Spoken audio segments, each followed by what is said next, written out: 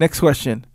Jocko, just checked out podcast 21 with Tim Kennedy. Awesome. Raised a big time question though. You and Tim agreed that cops who make controversial decisions slash mistakes do so simply because they're not trained well enough. That begs the question: How much does the environment someone trains in impact their decision making? How much tactical decision making is innate versus learned? Could killing the ideology that that the insurgents buy into be better than killing insurgents? Or can they simply not be reasoned with at any level? There have been terrorists who flee their organizations and start new, peaceful lives in other locations.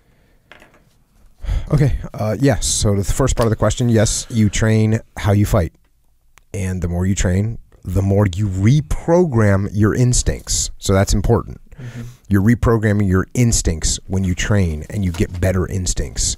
So that's what you do. And and now when cops make mistakes, oftentimes it's because of their lack of training. Sometimes they make a mistake that is a mistake that got made. You know, it's it's a mistake. That's all it is. And they've been trained well and they still make a mistake. I'm going to tell you the percentage of mistakes go down dramatically the more that you train and the more realistically train and the more often you train, you're going to get better. No doubt about it.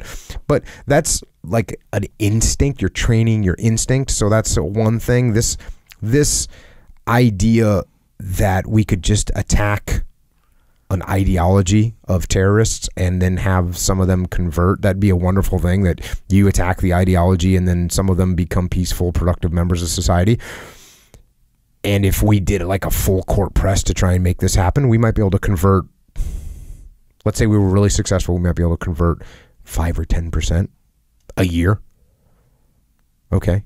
So that's great. Then you have to remember that the enemy is also out there converting people right? Probably at at least equal rate, maybe even a little bit higher.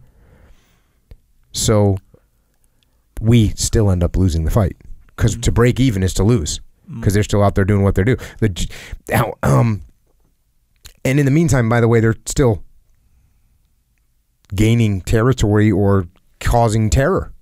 So it's not a good situation. Now, the examples that I use all the time obviously are Nazi Germany and Imperial Japan both of those groups were like the current day jihadists they were looking to take over the world. And if we just tried to kill their ideas with our ideas we would be speaking german right now. Because we would not we couldn't have changed their ideas fast enough. And and by the way they were playing a different game. If we were playing the game of let's cha- exchange ideas the enemy is playing a different game. So, for instance, if someone is trying to assault you mm. and you're a pacifist, and so you decide that you're going to try and convince them of the virtues of nonviolence through through debate and the Socratic method and critical analysis and the use of various rhetorical devices, and that's what you're going to do, and you might be the best debater in the entire world. But none of those things are going to stop that assaulter from punching you in the face. He's playing a different game. And once you're on the ground, he's going to start kicking you. He's a violent person. Now, maybe if you were to be able to slow him down long enough to try and reason with him, he's not playing that game, though. Hmm. He's there to attack you, he's there to stab you. So your ideas aren't going to defeat his ideas. You don't have the opportunity to do that. He's not playing debate.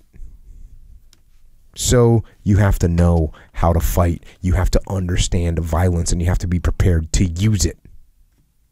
And if you can if you can debate and you can win, that's awesome. That's awesome. But if it doesn't work, you need to be prepared to use violence as it's needed. And that's the same thing on a larger scale, obviously. We we can do everything we can to try and help snuff out this extremist ideology.